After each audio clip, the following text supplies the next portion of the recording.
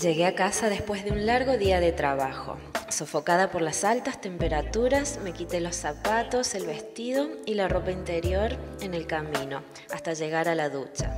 Abrí el grifo y dejé que el agua fría empezara a caer desde mi rostro hacia todo mi cuerpo. Pero cuando quise entibiarla, la llave quedó en mi mano y una cascada empezó a salir desde la pared mojando las cortinas, el piso y hasta el pasillo. Traté de colocar la pieza en su lugar, pero fue inútil. Corrí a cerrar la llave de paso e inmediatamente llamé al maestro del edificio, pero no se encontraba.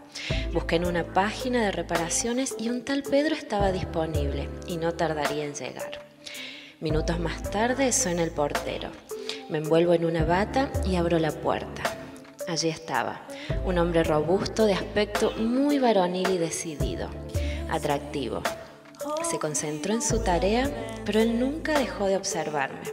Su mirada de deseo hizo que casi sin pensarlo me metiera en el baño, dejara caer mi bata y le dijera, haz lo que tengas ganas. Su rostro se transformó y sin decir nada me tomó bruscamente y me llevó hacia él, besando mi cuello, mis pechos y mi cintura, mientras yo desabrochaba su pantalón y lo acariciaba. Le pedí que no se detuviera. Estaba muy excitada.